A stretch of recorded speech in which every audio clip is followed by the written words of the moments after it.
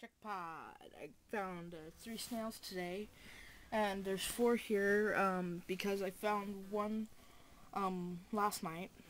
So, the one, uh, three of the ones I found uh,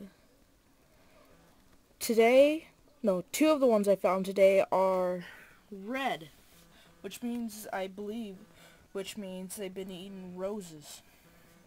So I found them no, I'm not going to show you. I'll show you tomorrow. Eh, I'll go outside and show you. After I show you these guys, they're so awesome. I like his little foot there. Cool. So let's show you outside where I found them. So that's where I found them, right outside my room. That's my sister's window right there. So yeah, and there's the giant ficus tree. Blowing in the wind yeah, so my battery's about dead, so I gotta go.